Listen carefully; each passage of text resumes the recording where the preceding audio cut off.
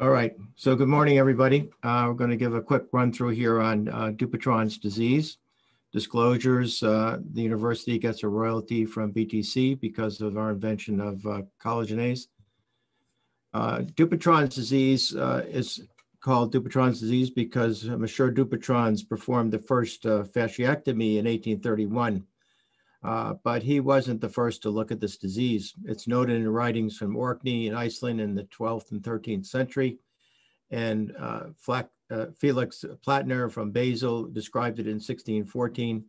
John Hunter, who was a, par- a, a member of the British Royal College of Surgeons, did dissections in 1777, the year of Dupuytren's birth, and described this uh, accurately. If we look at Dupuytren's disease, we start by noticing that the skin on the dorsum of our hand is loose and flexible. The skin on the bottom is attached by ligaments uh, that run longitudinally, transversely, and vertically so that as we grab objects, we're not scooting around on our hands. Uh, the main uh, in the fascia of the normal ligaments turn into myofibroblasts. This is the main cell in this disorder it produces abnormal amounts of type 3 collagen.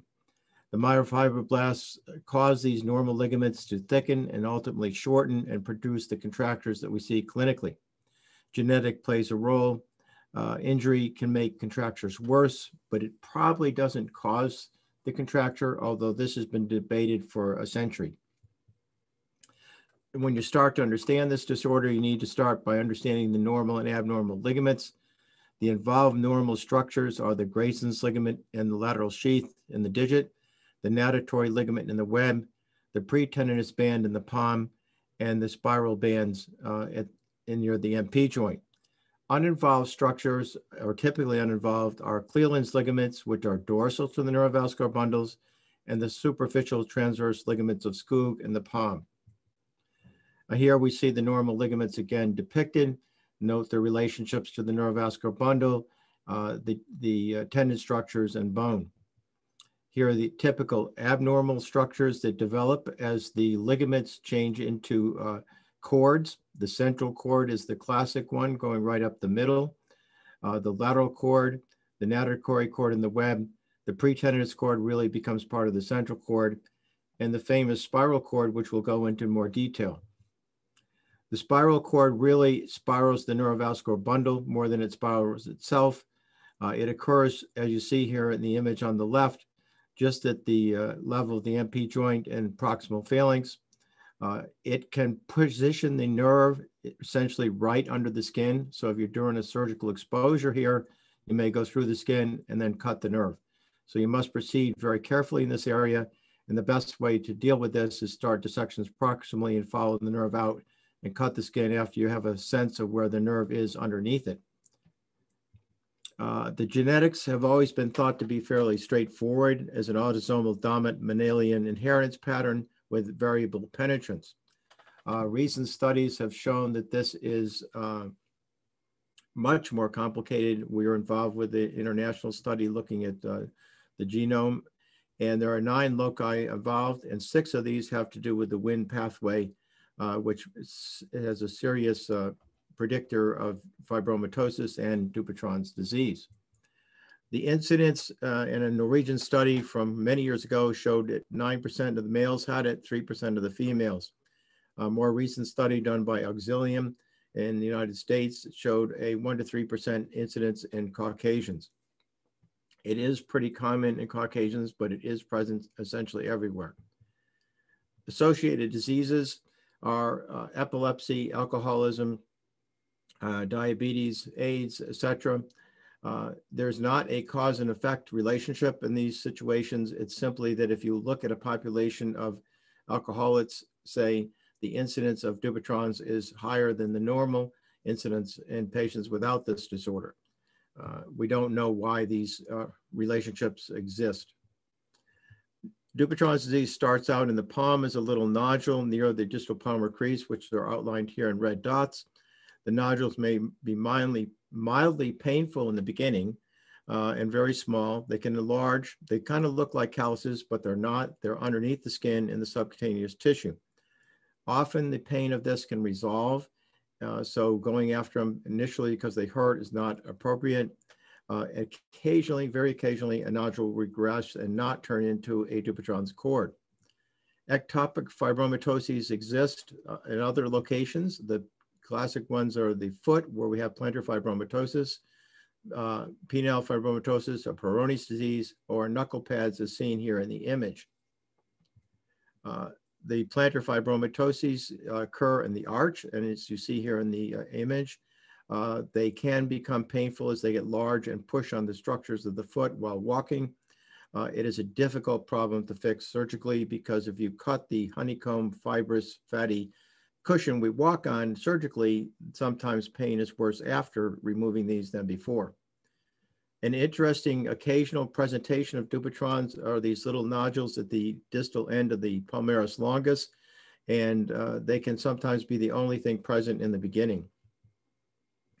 The nodule enlarged, it changes the longitudinal ligament into a cord. The cord is not a tendon. The cord is under the skin and superficial to the flexor tendons. The cord thickens, shortens, and pulls the finger into the classic flexion contraction. The fourth and fifth digits are more commonly involved. The thumb, index, and long less so, but, but definitely have the disease in them uh, in certain patients. The web and the thumb are also involved occasionally. Uh, the cord patterns pretty, uh, predetermined the, or are predetermined by the ligaments that they originate from. Uh, John Hueston uh, noted the severity of Dupuytren's disease was worse in those individuals with a family history, those who started at a young age, and those who had ectopic uh, fibromatosis in other locations. He called this the Dupuytren's diathesis. Uh, this uh, particular subset of the population with Dupuytren's disease is often tested on training exams. Remember, as we deal with this, we care for patients because they have complaints related to the problem, not just the presence of the problem. So there are symptoms to think about and ask about, uh, such as poking yourself in the eye when you're trying to wash your face, can't get your hand into pocket or other small places. And of course, importantly, in the Irish population who have this rampantly is you can't hold your beer. Uh, the tabletop test was invented by John Hueston. Basically, it's very simple. If the contracted fingers uh, cannot extend enough to place the fingers and palm on the flat surface at the same time, then you have enough Dupuytren's disease to think about therapeutic intervention. John used this because he worked in Australia and people sometimes came hundreds of miles to see him and he wanted them to only come when they needed to. So he taught the patient how to do the test for themselves. Surgical indications are uh, contractures that are of a certain degree because at that point we feel they're going to get worse. MP contractures, I usually look at 20 to 30 degrees uh, before I say therapeutic intervention is appropriate. Uh, PIP contractures, 20 degrees and evidence that they're progressing. Uh, it used to be written that any contracture of the PIP was a surgical indication. The difficulty I found with that is I'd see particularly some women where they'd have a 10 degree contracture. They're concerned what was wrong, but had no real symptoms. And with following him, they never got worse. So it didn't seem appropriate to operate on him unless it started to progress. Uh, the management surgically has been studied by McFarlane in a multi-center international study, which a long time ago we were involved with, 1,200 patients. The key thing to note here is 20% or so did really well, 60% uh, or so improved, but some surgical patients were the same or worse uh, after a surgical intervention. So surgery works, but it's not uh, given that you will have no problems. The surgical incisions for Dupuytren's disease uh, are huge number of them. Uh, here you just see some of them that I found in the literature. Uh, the thing to note here really is follow the basic plans that you should, but no, no skin incision is going to uh, make a, a perfect surgical outcome. The standard current incisions that are typically used today are the uh, zigzag uh, incision you see in A and B, uh, a longitudinal incision which is later turned into a zigzag by Z-plasty, or transverse incisions which were popularized by McCash. Here is a patient, 49-year-old male with a seven-year history of Dupuytren's involving the long and ring finger, Englishman, uh, and a smoker. So we've used the longitudinal incision in, in the palm out to the distal palmar crease and then zigzag into the fingers. You'll notice that the incision was made in the proximal part and not extended into the fingers right away. I have found that if you uh, ex extend the finger, what you started to draw as a definite zigzag incision becomes a longitudinal incision if you uh, don't release the proximal part of the cord first before defining the incision pattern in the digit. Uh, here you see exposure of the central cords in the two digits, the interconnecting Skoog's ligaments, and uh, the dissection that's necessary to do that.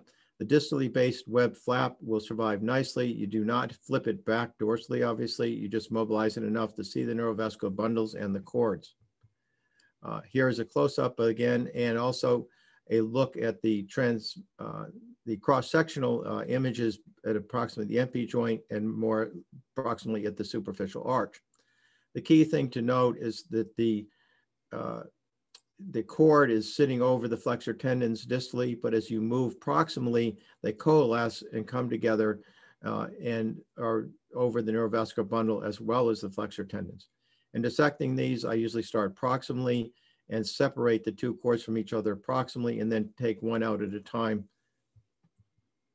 Uh, here you see some images of surgical dissections, uh, noting the digital nerve, noting the flexor tendon, uh, the cord, and the excised cord.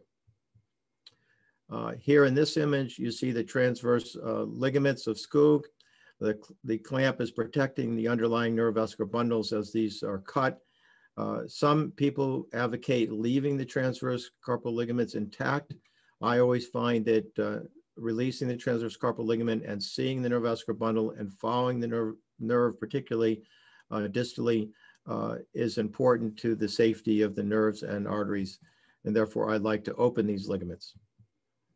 Uh, the spiral cord, as we mentioned, another very testable topic as the cord gets wrapped around the neurovascular bundle, uh, the cord basically ends up straight, but the neurovascular bundle spirals, but we call it a spiral cord. The spiral cord problem moves the nerve proximal, superficial, and centrally. And again, it's right under the skin when you open the skin. Uh, this is not easy to identify uh, preoperatively. The only way I've seen to have a chance at doing this that's accurate is to use a uh, Doppler and map out the artery. Here you see a uh, surgical case with the cartoons showing the cord location and the neurovascular or the nerve locations, and then the flexor tendons location. Um, also involved are the natatory ligaments, and these are in the web. Uh, the nerves can be under them, over them, uh, or sometimes the disease is on both sides. The PIP contracture is a particularly troublesome part of Dupuytren's disease.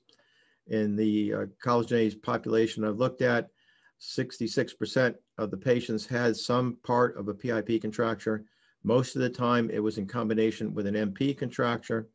Uh, it is present uh, more commonly in the little finger and less so in the long finger. Other conditions to think about that affect your capacity to get a straight PIP joint are one, the joint can be arthritic. Two, the central slip and extensor hood may attenuate because the joint has been in severe flexion for often years. Uh, the lateral bands can sublux volar and uh, therefore become a contracting element. The collaterals contract, the volar plate contracts, and even the flexor tendon sheath uh, can get tight. Uh, I once had cut surgically everything uh, to the point that the finger would dislocate at the PIP joint, but as soon as it was located, it was still fixed in flexion, and it was the lateral bands which then had to be released. When operating in the fifth finger, understand that there is essentially two digital nerves here. One is the real digital nerve, which is a juxtaposition to the digital artery and often spirals around the so-called abductor digiti minimi cord and there's the dorsal ulnar sensory nerve. At the base of the proximal phalanx, the digital nerve is about three fascicles, and the dorsal nerve is two fascicles. So you want to be careful not to injure it because of sensory loss to the ulnar side of the hand, and also to avoid neuroma pain. Here we see in the digit loosening Grayson's ligaments uh, to expose the neurovascular bundle and identify its location before excising the cord. Uh, here in the uh, image on the left, you'll see the neurovascular bundle, the cord, abductor digiti minimi cord, and the dorsal nerve. On the right, you see surgical exposure of the nerve and the radial lateral cord. When you finish surgery, it is appropriate to let the tourniquet down. Uh, make sure you control bleeding uh, and identify the vascularity of your flaps. If you look at everything very quickly as the tourniquet is going down, you can usually see the capillary film march back into the flap nicely. When you go to control hemostasis, be very careful. Use a bipolar cautery understand the nerve, the artery rather is very small. It's easy to zap it if you're not careful. In general, bleeding can be controlled by a little bit of gentle pressure uh, after a tourniquet is released. Uh, the McCash technique is particularly useful when you would otherwise need skin grafts. Uh, these transverse incisions can be left open in a patient with uh, arthritis that has difficulty with stiffness in the digit unrelated to the Dupuytren's you immediately set them out on soaks and exercises and uh, flexing in the uh, in the uh, in the soaking. Uh, it was originally written that these incisions heal in a few a week or two. It's more like a month or two, uh, but they do work, and large openings will close and give uh, excellent appearing healed wounds, and allow the patient to move appropriately while they're rehabilitating. Uh, the thumb is involved in two areas. One is the commissural cord seen there on the left, and the radial cord uh, going up the thumb longitudinally radial to the flexor tendon. The x-ray shows a wire placed on the cord. So you see the relationship of the cords to the skeleton. Uh, the, the drawing shows uh, targets for collagenase injection uh, when dealing with this particular cord in the thumb. Here's a surgical one uh, you'll see the uh, radial cord and the more trans, or in this image, vertical uh, line going along the path of the commissural cord and the excised specimen. Skin grafting is a useful tool.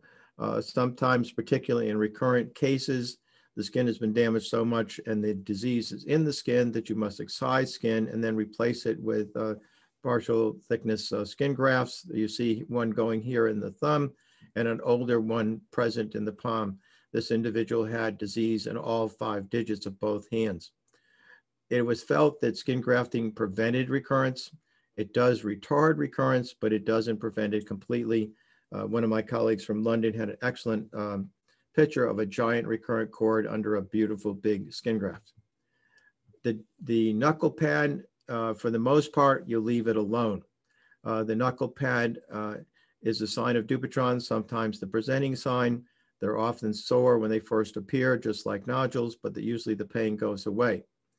If they get really big or become extremely painful and the patient is uh, terrified that it's cancer, excising them can be done. The thing to note is that there is no plane between the uh, extensor hood and the nodule. You have to dissect this surgically and sharply and if you damage the hood where the X is in the right image, you will end up with a boutonniere. Uh, the closed uh, fasciotomy was used in the uh, 50s and after World War II. Simply jab a knife in there and cut it in the office. Uh, the trouble with this is it cut neurovascular bundles and tendons and was felt to be not a good program. Uh, later on, the French came up with the needle aponeurotomy, which is very useful in uh, the appropriate patients and particularly for MP contractures. Uh, I personally don't use it, but a lot of my colleagues do use it successfully. Recurrence is uh, present with that, that approach to therapy as, as it is with all the others. Steroids were thought to be helpful. Lynn Ketchum from Kansas uh, reported using it successfully, but then reported later that they all returned. Uh, there was a French report of good results uh, and another fellow tried it on his own, and as did Hueston, and it didn't work. Uh, it does seem to make sense because it reduces the expression of VCAM1, uh, but uh, it doesn't seem to really work clinically. When you have a situation that isn't corrected by joint release and fasciectomy, uh, some salvage procedures include arthrodesis of the PIP joint, uh, a PIP prosthesis, or an amputation. I've done the arthrodesis successfully in cases with uh, recurrence times two or three or four. Prosthesis I have not used and amputation I've only had to do once. Uh, Complications with surgery include hematoma, infection, skin loss, tendon damage, tendon- uh, uh, breaking, um, nerve injury, vascular damage, digital ischemia, need for amputation, and complex regional pain syndrome. Uh, This is often a straightforward procedure, but it can be an extremely complex, difficult uh, procedure, and you have to understand uh, the potential problems before tackling each one and look at each case separately. Outcomes were studied by Strickland and others. Uh, They found that if the initial PIP uh, contracture was less than 30, often the correction was maintained. If it was 30 to 60, 20% or so got better. After 60, some of them ended up worse. The assumption that you can release the volar plate and the collateral ligaments and do the fasciectomy and correct the PIP contracture forever is not correct in many patients. Uh, In um, September of 2009, uh, we brought collagenase uh, forward as a possible therapeutic option for this. Uh, We started working this in 1991. It was approved by the FDA in 2010. Here you see the injection in the cartoon. Dr. Hurst is gonna break the cord. There you go. and a, a manipulation maneuver to break the cord. And one of the Yes, cool well thing is you have immediate active range of motion. Great. When dealing with the uh, collagenase, you're going to use a hubless syringe with a 27 gauge needle. You must understand the beginning of the cord where it bowstrings away from the flexor tendon because that's the place where it's the safest. Uh, You're going to palpate the cord on tension to define where the medication should be placed. Again, placing in the area of bowstringing is the safest. And you're going to palpate the cord to build a mental, mental image of exactly where the cord is located. Uh, Typically, the uh, dose given into the cord is 0.58 milligrams. At the level of the MP joint, it's diluted a little bit more than at the PIP joint. Uh, I often now divide the dose into three to six aliquots uh, to place it in the appropriate spots. Uh, The needle needs to go through the dorsal edge of the cord. Uh, I'm, s- uh, sorry, if the needle goes through the dorsal edge of the cord, take it out and put it back in again. You don't want to shoot the medication into the fat under the cord. You want to shoot it into the cord. When doing this, you put the needle in place. Then you uh, stabilize the plunger so that as you advance the, I'm eh, sorry, you stabilize the barrel. So as you advance the plunger, you don't advance the needle and again, put the drug in the wrong place. Another helpful hint is to have the cord on tension by the nurse uh, extending the finger uh, passively while you're doing this. For the manipulation, uh, 90% of my cases, uh, or all of them really have a local block for manipulation. Uh, Occasionally with patients with pacemakers or whatever, uh, they're also at uh, the AM Surgery Center where they're being monitored and get some sedation. The manipulation procedure, you uh, first uh, flex the PIP and extend the MP, then flex the MP, extend the PIP, extend both joints with the finger extended, push on the cord and break it up. And then another step is to ab and adduct the uh, finger to, to break any natatory ligament uh, cord components. Uh, My experience now is about 4,000. Uh, Only about 2,000 of the patients I see with this diagnosis warrant treatment. Uh, A good half of them, as you see, are just nodules and all they need is reassurance of what's going on and what to watch for. Uh, 46% were treated with collagenase, still treating some with surgery. The age, uh, age range and the breakdown male and female is shown. Uh, Surgical indications, nodule excision only, again, only if it is painful, larging, and, and you're concerned of the diagnosis. If you have to release a trigger finger and you're going to dissect through a nodule, take it out. The surgical insult of the nodule will often aggravate it and turn it into a cord. Uh, Fasciectomy for the palm and digits is still done, sometimes still need skin graft, particularly in cases that have recurred after previous surgery in the base of the fifth finger. The flaps die and you can get the cord to pop with collagenase, but the hole in the skin that uh, occurs because the skin is deficient then heals and drags the finger back into flexion. Fasciectomy can be done with carpal tunnel. It was seen for many years that this was not appropriate, uh, but it's now felt to be uh, safe. Occasionally, a digit widget can be used to help extend a stiff PIP joint after disrupting the cord, either with collagenase or surgery. Um, Fasciectomy in my hands have been done for multiple digits, uh, some recurrence post uh, collagenase and recurrence post-surgery. Um, A majority of the recurrences I've dealt with, I've just repeated the collagenase. Uh, Just to show a quick some examples, uh, here is uh, a patient with a large cord to the finger, central cord.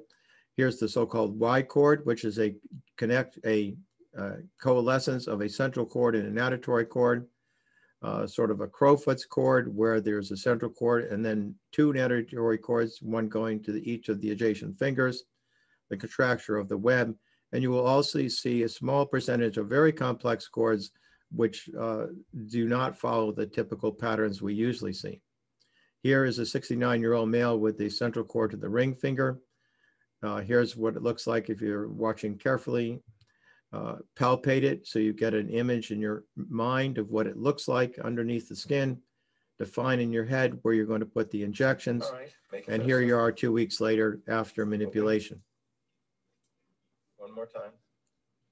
Open real hard for me. After uh, treatment, surgical or otherwise, splinting is appropriate. Uh, Standard extension splinting, splinting for night, reverse knuckle benders for stiff uh, PIP joints. And as I mentioned earlier, occasionally the use of a uh, digit widget uh, to stretch out a PIP joint. This does work, but it doesn't prevent uh, 100% the recurrence. In my hands, the improvement with MP contracture with collagenase has been reasonable at 40 degrees and 90% improvement. As you would expect, PIPs do worse, but still get meaningful improvement. Uh, complications do occur with collagenase. Small skin tears uh, are the one of the most common. Um, usually resolve in two to four weeks, and they do not need surgical intervention, at least in my hands. Other side effects, almost everybody gets some ecchymosis. A good portion gets some itching. Sometimes the lymph nodes at the elbow or axilla swell up, but this goes away. Uh, I have seen no severe allergic reactions. There's been one reported in a patient that was done in an office who was already on nasal oxygen. Not sure why anyone would do that. Um, I haven't seen any permanent nerve or vessel injuries. Tendon injuries have happened. In our major study, there were three in 1,082 patients or 2,600 injections. Uh, usually we stop anticoagulants before giving collagenase. In a patient who couldn't stop, uh, we did her anyway. You see the picture there, three days post-injection. Looks pretty scary. Three weeks later, it's resolved. Uh, but the FDA approval says stop the major anticoagulants before injecting. You do not have to stop aspirin. Recurrence is a problem. Uh, 40%, 47% get some worsening at five years. And you see the other data related to recurrence here. I think some of the major things you should think about are these Dupuytren's rules. The first thing I tell every patient is we cannot cure this. The other thing to keep in mind is this is a benign condition. This is not cancer. It's not fatal. If you have a minimal contracture that isn't progressing, you've got to ask about symptoms and decide whether surgical recommendation is appropriate. Recurrence happens. In my uh, experience, it's not predictable who's going to recur. Uh, Keep in mind, patients want to avoid surgery if they can. Also keep in mind, particularly uh, in earlier uh, decades when we did only surgery, it's one thing to have an unhappy patient who cannot extend their fingers. It's another thing to have an unhappy patient who can now not make a fist. And that was a occurring complication of surgical cases, particularly in the past. Also remember the rusty PIP joint is a problem that is not fixed by removing the cord and surgically is often not fixed by releasing the volar plate or the collateral ligaments. Uh, I try to approach this with patients that we're managing a problem that may well go on for a lifetime. It's not a one and done in many patients, unfortunately. Here are some textbooks that you can use for references. Our website at handsurgeryresource.org has a whole section on uh, Dupuytren's as well as all the other topics we're covering today. Uh, thank you for your attention.